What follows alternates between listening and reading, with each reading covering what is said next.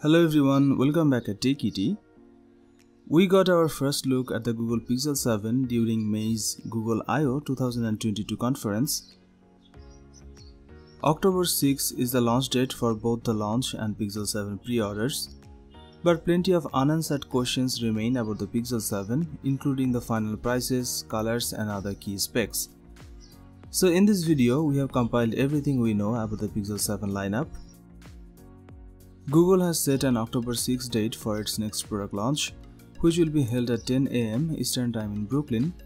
And in a teaser video, Google makes it pretty clear that the Pixel 7 and Pixel 7 Pro are going to be at that event. Presumably, the Pixel Watch is showing up alongside the Pixel 7 and Pixel 7 Pro. Google has kept a tight lead on the Pixel 7 price and they will probably continue to do so right up until the October 6 launch event. But that's not going to stop leakers from coming up with their own theories on price. The most convincing rumor we have heard so far is that the Pixel 7 will start at 599 US dollar while the Pixel 7 Pro will cost around 899 US dollar. If those prices sound familiar, that's because they match what the Pixel 6 and Pixel 6 Pro cost. That's cheaper than what other phone makers charge for their flagship devices Google is keeping the horizontal camera bar introduced with the Pixel 6, but it's making some tweaks. The main camera and ultra-wide camera are now bunched together. On the Pixel 7 Pro, there is a separate lens, which we assume is the telephoto shooter.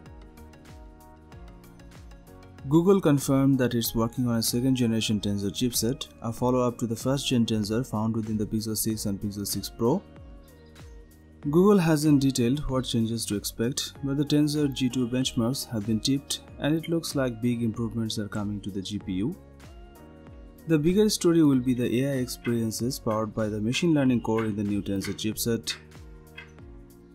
An early Pixel 7 rumor suggests that the Google won't change the Pixel 7's camera from those found on the Pixel 6, which has subsequently been backed up by another leaker if so, that will mean the Pixel 7 will sport a 50MP main camera and a 12MP ultra-wide-angle shooter, while the Pixel 7 Pro augments those cameras with a 48MP telephoto lens. We are waiting to see what the new camera features Google adds using a combination of its computational photography skills along with the updated Tensor processor. And that's all we have for now. Thank you for watching this video and I will see you on the next one.